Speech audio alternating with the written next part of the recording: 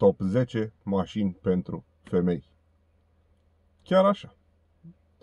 Mi-a venit ideea asta de ceva vreme și mă tot gândeam când mă apuc și cum, uh, cum să-l fac.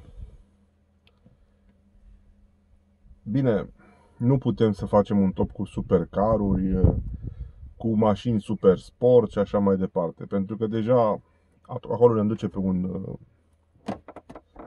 pe un teritoriu care nu putem avea acces prea mulți. Dar hai să mergem pe o idee așa, să luăm o sumă maximă de 15.000 de euro, să luăm o vârstă de maxim 10 ani, nu o să luăm Corsa, Fiesta, Ibiza. Dacă ții la femeia ta, nu-i cumperi o Corsa. Vorba vine. Adică o să caut niște mașini cu stil oarecum. Uh, și o să încerc să găsesc uh, și exemplare care la o adică să le putem folosi și noi, bărbații din viața femeilor respective, sau împreună. Adică niște mașini oarecum polivalente, dar care să placă publicului de sex feminin. Și tot așa va trebui să căutăm niște modele uh, oarecum uh, ușor reparabile, uh, cu elemente de caroserie la îndemână. Vrem sau nu vrem să recunoaștem, femeile conduc bine, însă, și nu fac accidente grave, însă fac mult mai multe uh, tamponări ușoare, mai o bară spartă, mai o semnalizare, mai o oglindă. Și, din nou, dacă ne vom duce în mașini exclusiviste, o oglindă, mai știu eu de ce, nu vreau să dau prețuri și nume, face cât o mașină. Și nu o oglindă din aia de făcut fardul. Oglindă de asta, de lateral. Bun. Hai să luăm pe Samsung. Bă, dar ce bate vântul astăzi și bagă miros de la groapa de gunoi. Ah. Luăm cel mai răspândit site de vânzări din România. Și băgăm aici un preț 15.000. Nu includem mașini noi, evident. Mergem cu mașini uzate, că și noi suntem oarecum uzați. turism. Băgăm 2012 ani de fabricație. Acum am fi incorrecți să punem numai cutie de viteză automată. Cum, nu știu, eu aș zice să mergem și și. Ce, ce ne e? Bine, majoritatea modelelor au și, dar unele cred că nu au, nu au decât automată.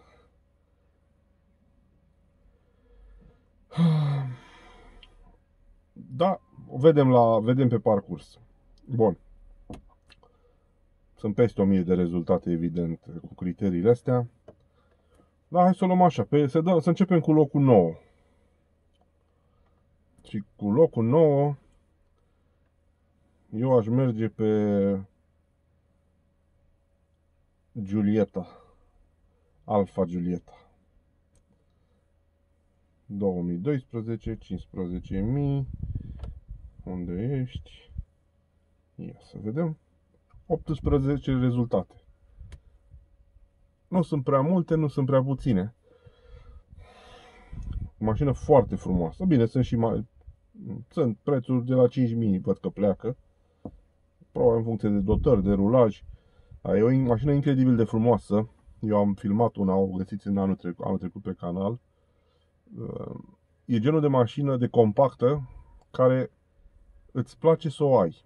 Arătați mașina asta oricărei femei și îi va place. Și este o mașină cu care poate merge și un bărbat. Cei drept e Alfa Romeo. S-ar putea ca la elemente de caroserie să fie o idee mai, mai scumpă și să se găsească mai greu, dar nu este o mașină rară. Și apropo de, de asta, cei care sunteți, uh, care stați prin Italia, um, ce aplicație sau ce site de parcuri, cu parcuri cu dezmembrări, pentru că Italia are multe parcuri de genul ăsta și ne, ne-ar fi de folos tuturor să o, să, o, să o găsim. Deci o Alfa Giulia pe locul 10, cât mai nouă, cât mai dotată, e, e o alegere. Bun. Autoturisme. Hmm, ce să căutăm pe locul 9? Bineînțeles, o să băgăm și suv și uh, crossovere. Băgăm, îl facem general pe, pe, pe, mai mergem pe imagine, nu neapărat pe clasa din care face parte mașina, pe, pe motorizare. Acum nu merg femeile foarte mult, dar uh, aș merge cel mai mult pe pe partea asta să-i placă femeii mașina respectivă și să fie o mașină sigură. Sigură, cu dotată tehnologie airbag-uri, stelele și așa mai departe. Pe locul 9, o mașină foarte interesantă, care nu are preț mare și care e țap, e o mașină țeapănă, rezistentă și care prinde la... Am văzut foarte multe femei într-o mașină de genul ăsta. Uh, Suzuki Grand Vitara. Ia să vedem câte sunt. Altfel n-au fost multe. Suzuki-uri sunt 14, mai puține. Da, și-au și preț chiar. Oho, preț măricel.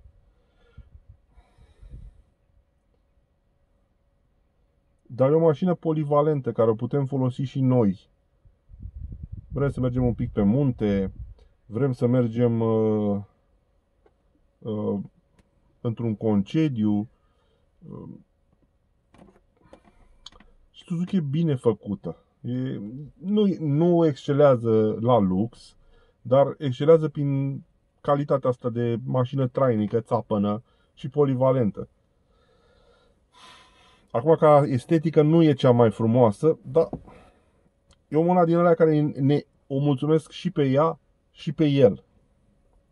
Haideți să mergem mai departe. Locul 8.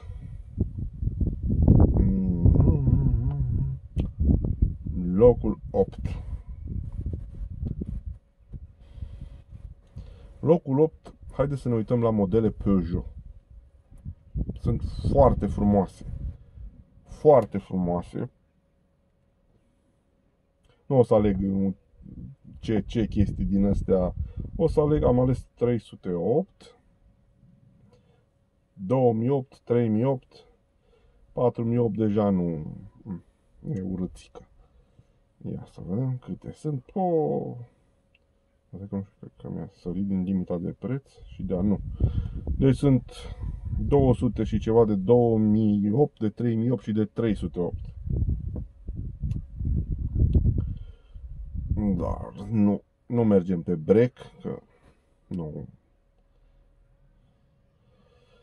Ia uitați aici, 3008. Hibrid. 2013. Din nou, polivalent, o mașină polivalentă care o putem folosi și noi și ea. Și la Peugeot ne lovim de problema asta un pic a prețurilor la unele lucruri, dar nu e un capăt de țară, iar la Peugeot este foarte, foarte frumos interiorul. Mi-a plăcut tot timpul, au materialele alese cumva, așa, francezii știu să, să jongleze cu culorile cumva, cu, cu, și cum să le armonizeze. Dacă uitați la Touareg ăsta nu sunt armonizate frumos. La mașinile germane nu le, nu le iese. Bun, locul 8 găsim un, un model Peugeot 3008, eu aș merge pe acel 3008, e spațioasă, pot spune orice în ea. Și frumos. 7. 7. Haideți să ne uităm tot la o mașină franțuzească. La Citroen. Nu știu dacă putem prinde un DS, dar C4 Aircross, Cactus, C4, chiar și Picasso, tot și de DS 3, 4, 5, 7, nu. Ia să vedem așa. Câte sunt?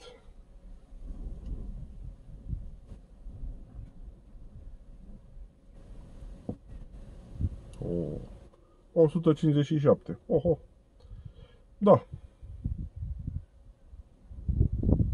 Foarte frumos, chiar DS5. Ia uitați-vă aici ce mașină frumoasă. Cu... E una filmată anul ăsta. E incredibil de frumoasă. Uitați-vă ce, ce bord are. Nu are cum mașina asta să nu-i placă unei femei și iar un bărbat să nu poată merge cu ea, pentru că mie mi-a plăcut cum merge. Sunt multe modele și uh, tot C4 cactusul care e un pic e un, e un struț, dar e un struț simpatic foc și care tot așa nu are un preț foarte mare pentru o putem lua cu un an de fabricație foarte bun. Haideți spre locul 6. Locul 6. Locul 6. Ce zice să ne uităm la locul 6? Opel Mocha. Nu. Nu e. Nu, e feminină, dar mie nu îmi place. Nu, nu, nu. Mm. Nissan pe locul 6. Ne uităm la modele Nissan. Și aici alegem clar Cașcaiul. Imbatabil. Cașcai, Cașcai. Da? La, la ce știe să facă și la cum merge și o mașină rezistentă. Cașcaiuri sunt nu mai mult, nu mai puțin de 250. Adică cu prețuri variind, mai noi, mai vechi, dar 2014, uitați-vă cât de frumos arată. Și este o mașină în care orice femeie se va simți în siguranță, iar oricărui domn îi va place cum merge această mașină. Din nou, ca unui producător de volum, uh, ca întreținere nu e exagerat de scumpă, însă nu e o mașină stricăcioasă și este o mașină polivalentă. Putem pleca cu ea și în concediu, poate să o folosească doamna și ca mașină de zi cu zi și per total e, un, e una din alegerile înțelepte de făcut. Haideți să mergem spre locul 5. Să intrăm în mărcile de volum, așa. Evident vom include și mărci premium, pentru că nu, nu putem să nu, să nu ne lovim de ele. Pe locul 5 eu aș lua pentru o doamnă, o domniță,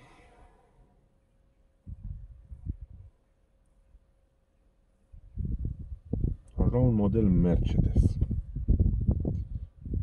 E interesant ce le aul, dar mie nu mi-a plăcut prea mult cum e făcut, așa, nu știu, mi s-a părut...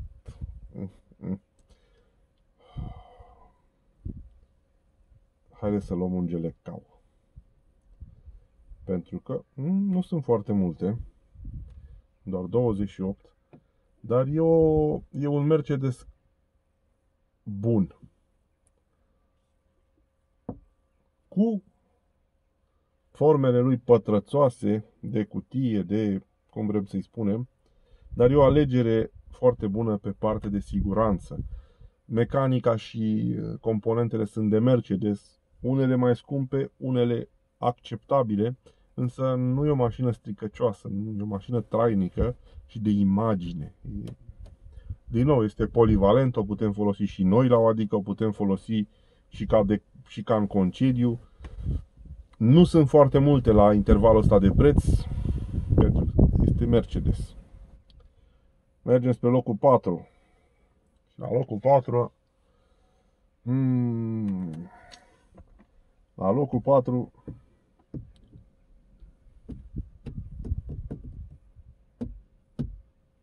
La locul 4 trebuie să alegem un model Renault. Foarte răspândite, cu prețuri așa cum sunt ele, cu multe lucruri frumoase. Pentru că au, au o frumusețe aparte. Au, Renault este cel mai priceput producător să dea ceva ieftin, dar care să pară scump. Hmm, și evident, o să ne uităm de un Renault Captur. Și de un Cajar. 189 de exemplare.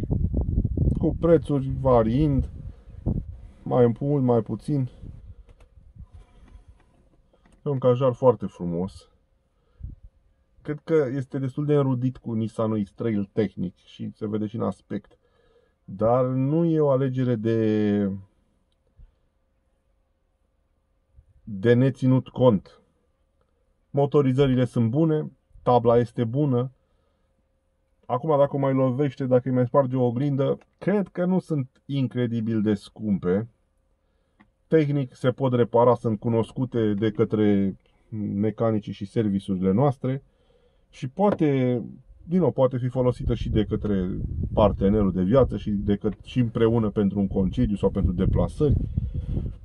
Și e chic, e o mașină chic, așa, o mașină franțuzească care amintește așa de aerul bohem parizian, chiar dacă e făcută de Renault. Mergem mai departe, la, pre, la podium. Acum pe podium, a, am uitat să vă spun, niciun model Volkswagen nu va face parte din acest top. Nu poți să-i faci cadou unei femei decât un Porsche. Nu poți să-i faci Passat, T-Roc, Troc, T-Cross. Ăla pentru agenți de firmă, distribuție, angajați. Nu. Chiar dacă m-am gândit un pic la modele Seat sau chiar modele Skoda, dar în afară de câteva Seaturi, Skodele sunt... Deci modele Volkswagen nu avem în acest top. Bun. Uh, pe locul 4 pe locul 4 o să intrăm puțin în gama Hyundai. Ar trebui Hyundai Kia, dar nu putem selecta două mărci. Deci mergem doar pe... Hai să mergem pe Hyundai, că e mai mare și mai răspândit. Din nou, la modelele Hyundai avem de ales. Sunt. Și evident o să-i uh, o să alegem uh, Santa Fe-ul. E o mașină elegantă, care nu are un preț foarte mare, care arată incredibil de bine pentru anul de fabricație și pentru dotări și garanție și calitate, că este calitate în ele. Așa arată interiorul unui Santa Fe. Calitativ. E foarte calitativ. Nu m-am uitat câte sunt. Doar 32, nu sunt foarte multe. Dar e acolo. Este acolo.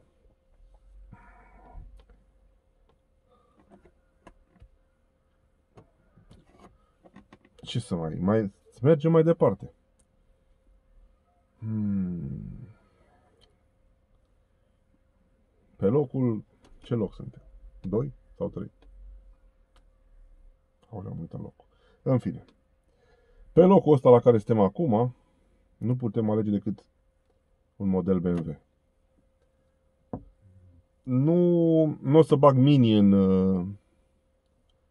în topul ăsta pentru că Mini, chiar dacă pare o mașină feminină, este foarte tare și foarte greu de condus, foarte joasă, cu prețuri mari și o, o vom sări. Mini intră la mai mult la mașini, la exclusivism oarecum.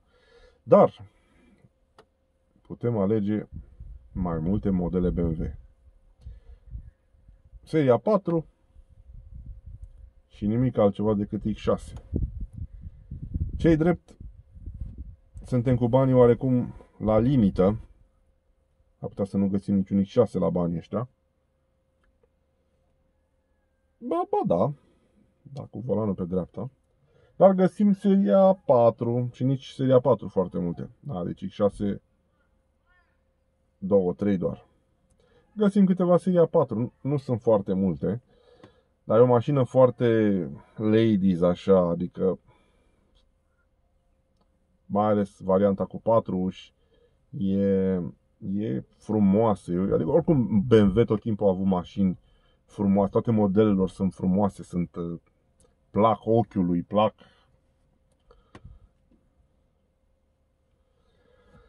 și este un ladies choice oricând cu problemele și costurile care vin uh, la pachet cu această marcă, însă rezolvabile în România.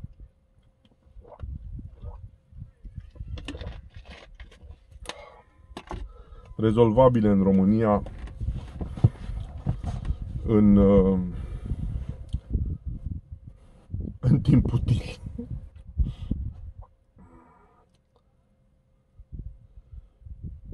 Fiatul 500 nu mai putem spune despre el că nu are loc în acest top pentru că își merită numele de cu adevărat de Lady Scar. Este cel mai frumos cadou care îl poate primi o femeie uh, din lumea auto în acest buget. Uh, cel mai, și cel mai oarecum exclusivist. Că nu e loc în ea, că e oarecum defectuoasă, că că, virgulă, virgulă, că uh, suma tuturor defectelor acestui, acestei mașini uh, este învinsă de imensa ei calitate, aceea de lucru emblematic, de mașină care o porți, care o ai de drag, care te mândrești cu ea în fața colegilor. Uh, adică o colegă poate să aibă un Golf sau o Skoda Octavia și prietena sau soția ta poate să aibă un Fiat 500. Da, Skoda aia nu se strică, merge, Golf, da. Ce mașină ai? Da, păi, ce mașină ți-a luat bărbatul tău? Uh, Fiat 500. Ah. Și ar mai fi o mașină care, la fel ca și Fiatul 500, se potrivește ca o mânușă, doamnelor. Dar e făcută de grupul Volkswagen. Fuck. Pa. V-ați dat seama de care este vorba. Evident de Porsche de Cayenne. Dacă o să vedeți filmul la american celularul, Nicole Kidman, dar nu Kim Basinger, a? Kim Basinger, conduce un Porsche Cayenne. E asoci... femeie blondă, Porsche Cayenne negru, este, cred eu, apogeul uh, mașinilor de serie pe care le poate avea o femeie. Adică și fancy, și puternică, și bine făcută, și sigură, și spațioasă, și poate să o conducă și soțul, poate să urce și toți copiii, poate să meargă și pe un teren mai prost, poate să meargă și în Alaska, poate să meargă și în Maroc, sau în sudul Italiei, sau în sudul Franței, sau la noi. Porsche de Cayenne nu are, nu are adversar. Cei drept nu e nici ieftină, întreținerea la ele e un pic mai scumpă decât la Touareg. Elementele de caroserie se găsesc pentru că e un model destul de răspândit. Dar pe mine, adică dacă aș fi în măsura să fac, să cumpăr un Lady Scar uh, și aș avea posibilitățile astea financiare limitate, adică la suma asta, aș căuta un exemplar Cayenne. Ia să vedem câte sunt chiar. Nu, nu vor fi foarte multe, clar. Dar uh, pe, pe mine este una din mașini care m-a impresionat cel mai mult la cum merge, și la cum te face să te simți așa. Bine, nu o să luăm un Cayenne Turbo sau chestii din astea, dar nu cred că facem față cu, ba- cu anul de fabricație și cred că m-am păcălit aici un pic exact. Trebuie să dăm anul mai jos. A, bă, da. Bă. Am scris Porsche și mi-a arăs tot Hyundai. Ce naiba, ai nebunit? Se stică și OLX-ul ăsta câteodată, nu mai vrea să meargă. Bine că nu vrei să mergi. Da, așa, trebuie să reporni. Hmm. Autoturism. Chiar sunt curios dacă găsim uh, Cayenne. Dar nu la 2012. Exact. Ia să vedem.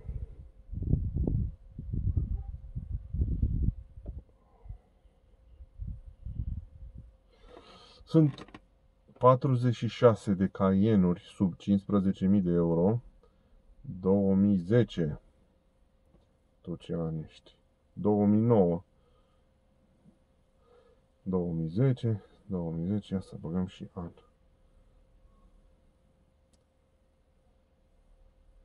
12. Pac.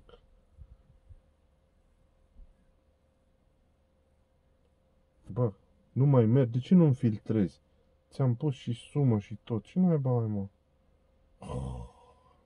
Deci 15.000 euro, an 2012, arată 40 și mi-arată cu 9500. Mă rog. Stai să mă uit manual așa prin el. Dacă apare vreunul